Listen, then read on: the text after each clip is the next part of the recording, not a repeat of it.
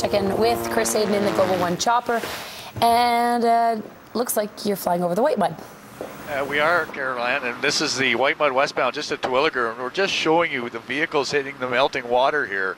This is in the westbound lanes, and it is now becoming very, very prevalent throughout the entire city with the snow melt. That some of these lanes are completely covered in water, and as you can see, as the vehicles go through here, it's something to keep in mind in regards to visibility, and also watch your speed as you go through all this water that's now melting onto the roadways. West Edmonton Hyundai valet service on the 2013 Equus gives you freedom and time. We pick up and drop off your Equus for service only at West Edmonton Hyundai. For Global One, I'm Chris Hayden.